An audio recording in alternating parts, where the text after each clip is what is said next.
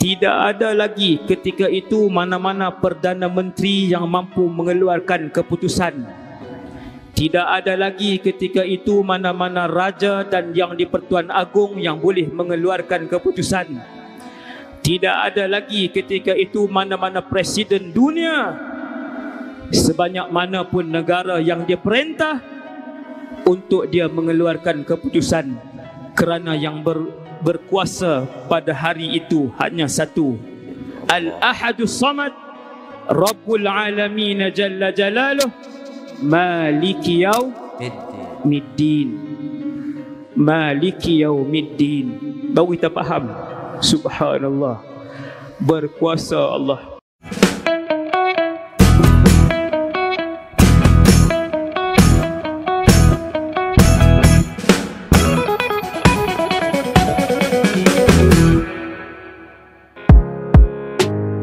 Assalamualaikum warahmatullahi wabarakatuh. Jumpa lagi dengan saya guys Cak Mujib. Gimana kabar teman-teman semua? Semoga sehat selalu dalam lindungan Allah Subhanahu Wa Taala.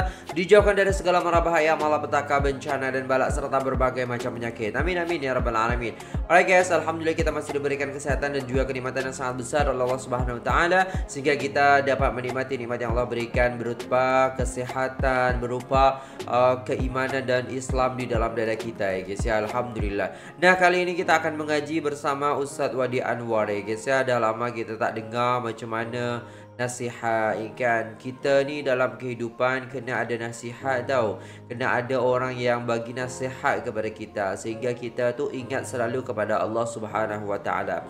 Nah di sini guys ada sebuah video iaitu gambaran keadaan semasa kita meniti sirat guys ya. Allahu Akbar. Okey tanpa berlama-lama jom kita tengok videonya guys. Let's go. Bercakap tentang satu alam yang kita akan pergi bersama-sama beramai-ramai iaitulah alam akhirat. Selepas seseorang itu mati percaya ataupun tidak dia akan dibawa ke alam barzakh. Barzakh belum akhirat. Barzakh ialah suatu alam di antara dunia dan akhirat. Barzakh bukan akhirat. Barzakh adalah pintu utama untuk masuk ke alam akhirat. Apabila seseorang mati, agama apapun orang itu, dia akan dibawa ke barzakh. Barzakh dan akhirat dua alam yang sangat berbeza. Di barzakh ada dua negara. Yang pertama taman syurga, yang kedua lubang neraka. Taman syurga belum lagi syurga, lubang neraka belum lagi neraka. Orang yang ke alam barzakh duduk di taman syurga, dia akan duduk rehat bersenang lenang. Belum ada nikmat syurga. Ini alam barzakh tetapi bila dia masuk dalam barzakh mati dalam keadaan yang baik maka dia akan mendapat nikmat bukan syurga taman syurga. Dia rehat melihat pemandangan yang cantik pemandangan yang indah boleh berjumpa dengan orang lain Selain berjumpa dengan orang lain Dia juga boleh bersembang Dengan manusia-manusia lain Di alam barzakh. Tunggu apa Ustaz di alam barzakh? Tunggu ditiup sangkakala yang pertama. Kumpulan kedua di alam barzakh Ialah mereka yang tinggal di lubang neraka Belum neraka. Tetapi sudah mula penyiksaan. Ada yang dikerat lidahnya ada yang dihempap kepalanya di dalam alam barzakh. Sampai bila ustaz? Sampai ditiup sangkakala yang ke yang pertama dan yang kedua. Saya silap. Sampai ditiup sangkakala yang kedua. Okey. Sebab sangkakala yang pertama kiamat Habis alam barzakh sampai masa Allah pun panggil Israfil alaihi salam. Wahai Israfil Tiup sangkakala. Kalau tuan-tuan tanya Sekarang Apa Israfil buat? Sekarang ni sekarang. Malam ni sekarang ni. Saya boleh jawab Dasarkan satu hadis Rasulullah sallallahu alaihi wasallam bahawa malaikat Israfil itu sekarang ini sedang bersedia memegang sangkakala untuk ditiupkan. Malaikat Israfil itu dalam keadaan memegang sangkakala diletakkan di mulutnya untuk ditiupkan. Begitu keadaan dia. Subhanallah. Itu malaikat. Allah. Malaikat yang setiap arahan Allah tidak sejengkal pun diawalkan, tidak sejengkal pun dilewatkan. Ini malaikat. Bila Allah panggil Israfil, unfuh, tiup. Malaikat Israfil akan tiup sekali je sangkala, satu saja. Sangkakala itu bentuknya seperti tanduk yang besar sebab malaikat Israfil ni dia lebih besar daripada Jibril alaihi salam. Jarak di antara telinga Israfil ke bahunya mengambil masa puluhan tahun. Maka dengan sebab itu sangkakala yang dipegangnya besar dengan satu tiupan dengan satu tiupan semua di atas alam mati. Hari ini ada 8 bilion manusia, baru manusia. Belum lagi jin, belum lagi binatang, belum lagi syaitan, belum lagi malaikat. 8 bilion ni sudah cukup banyak. Betul. Campur jin, campur binatang, campur malaikat, campur syaitan. Tak ada angka. Seluruh. Kesemua lima ini bernyawa dan akan mati dengan tiupan sangkakala pertama Israfil alaihissalam mati. Serentak kesemuanya. Subhanallah. Oh. malam ni bila kita dengar baru kita tahu betapa berkuasanya Allah Rabbul Alamin Malam ni bila kita dengar baru kita tahu betapa berertinya perkataan yang selalu kita ulang iyyaka na'budu wa iyyaka nasta'in. Malam ni bila kita dengar tentera-tentera Allah, kekuasaan Allah baru kita faham dan menghayati ayat yang kita baca tiap-tiap hari Maliki Middin. Yaumiddin raja dan penguasa di padang mahsyar. Itulah satu-satunya raja yang berkuasa di padang mahsyar. Tidak ada lagi ketika itu mana-mana perdana menteri yang mampu mengeluarkan keputusan. Tidak ada lagi ketika itu mana-mana raja dan yang di-Pertuan Agong yang boleh mengeluarkan keputusan. Tidak ada lagi ketika itu mana-mana presiden dunia. Sebanyak mana pun negara yang dia perintah untuk dia mengeluarkan keputusan kerana yang ber, berkuasa pada hari itu hanya satu. Al-Ahadus Samad Rabbul Alamin Jalla Jalaluh Maliki Middin. Yaumiddin Maliki Yaumiddin Baru kita faham Subhanallah. Berkuasa Allah. Hanya dengan satu panggilan. Ya Israfil. Wahai Israfil Tiup sangkakala yang ada di mulut kamu. Maka matilah sekalian juta bilion makhluk ketika itu. Allah. Saya sebut juta bilion ni sebab manusia 8 bilion Semut Kerbau. Ular Tuan-tuan binatang Binatang. Semua mati eh. Berapa ratus bilion Berapa juta bilion binatang. Lebih daripada itu adalah bilangan para malaikat Yang ribuan kali lebih banyak daripada jin, manusia, binatang dan juga syaitan. Allah. Malaikat. Subhanallah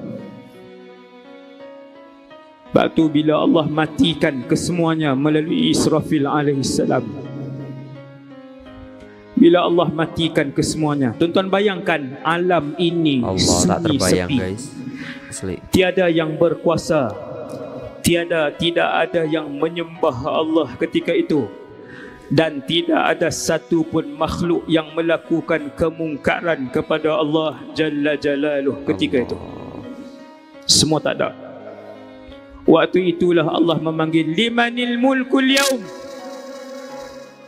Limanil mulkul yaum. Hari ini kerajaan milik siapa? Tanya Allah. Tiada makhluk yang mampu berbicara kerana semuanya mati. Semua mati. Malaikat mati ustaz, malaikat mati. Fasa'iqa man fis samawati wa man fil ard.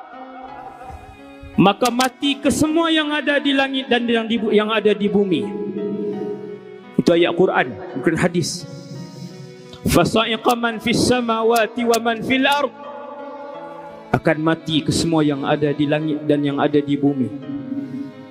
Hanya yang hidup ketika itu dalam ayat lain Allah sebut wa yabqa wajhu rabbika dzul jalali wal ikram Allah jalla jalaluh habis barzakh tiup sangkakala pertama semua mati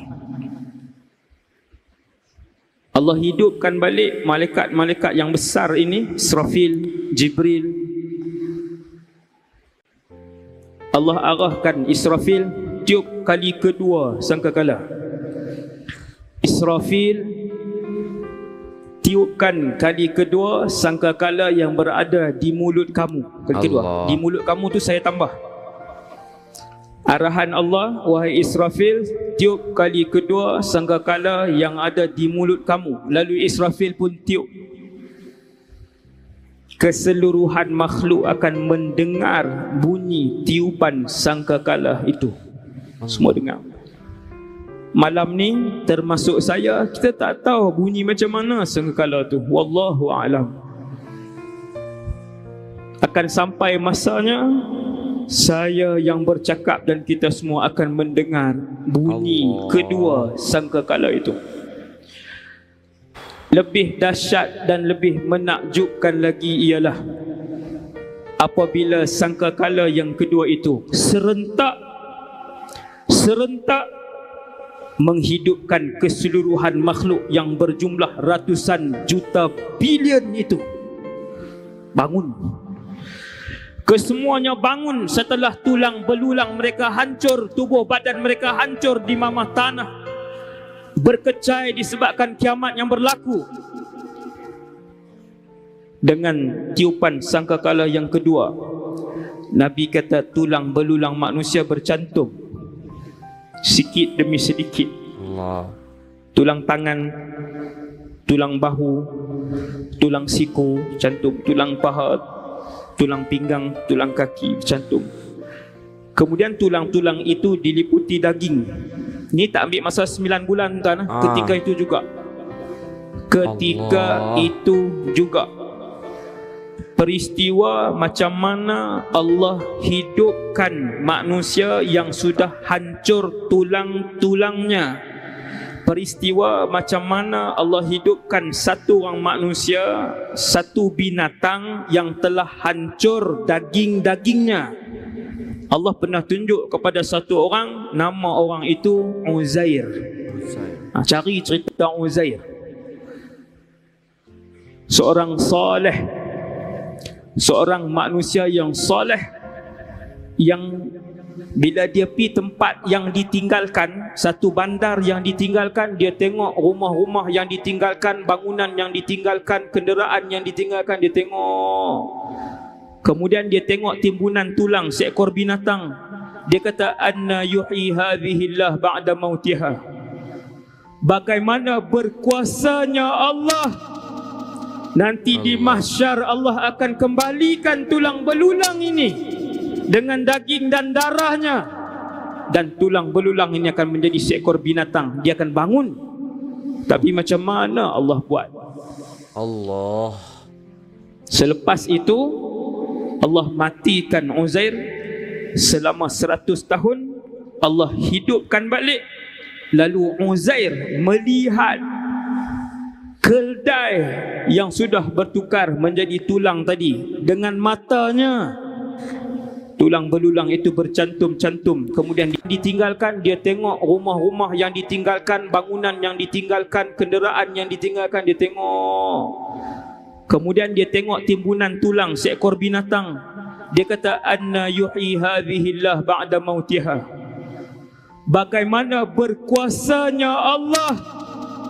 Nanti di mahsyar Allah akan kembalikan tulang belulang ini Allah. dengan daging dan darahnya dan tulang belulang ini akan menjadi seekor binatang. Dia akan bangun. Tapi macam mana Allah buat? Selepas itu Allah matikan Uzair selama 100 tahun. Oh. Allah hidupkan balik. Allah. Lalu Uzair melihat keldai yang sudah bertukar menjadi tulang tadi dengan matanya tulang belulang itu bercantum-cantum kemudian ditutupi oleh darah dan daging. Kemudian keldai itu bangun dan ha. mengeluarkan suaranya. Itulah yang akan berlaku ketika mana sangka kala kedua ditiupkan oleh Israfil alaihi salam. Allah. Bawa seekor kucing yang dimatikan. Tonton bawa seekor kucing dimatikan di sini. Tonton minta sebilion doktor sebilion arkitek, sebilion jurutera, sebilion saintis hidupkan seekor kucing itu. Ah, tak ada apa ya. Hidupkan seekor kucing yang telah dimatikan. Seekor je, tak payah seratus. Seekor je. Nescaya seandainya 10 bilion manusia bergabung dengan 10 bilion jin bergabung dengan keseluruhan malaikat mereka takkan mampu untuk menghidupkan seekor kucing Allah. bahkan seekor lalat pun. Betul. Kuasa Allah. Berkuasanya Allah. Malam ni kita faham berkuasanya Allah. Alright guys, dah selesai videonya. Dan Allahumma salli ala sayyidina Muhammad. Terbaik Ustaz Wadi Anwar yang menjelaskan kepada kita, hey kan, macam mana kita tu ketika di alam barzakh Lalu ditiupkan sangkakala yang pertama, sangkakala kedua. Allahu akbar. Ya Allah kita dihidupkan lagi oleh Allah Subhanahu wa taala. Dan ini semoga menjadi pelajaran dan juga peringatan bagi kita semua untuk senantiasa mendekatkan diri kepada Allah Subhanahu wa taala karena sesungguhnya Allah Subhanahu wa taala yang maha berkuasa. Oke okay guys itu dulu videonya. Terima kasih buat teman-teman semua yang sudah nonton video ini sampai selesai. Terima kasih sudah nonton sampai sekarang ini ya teman-teman.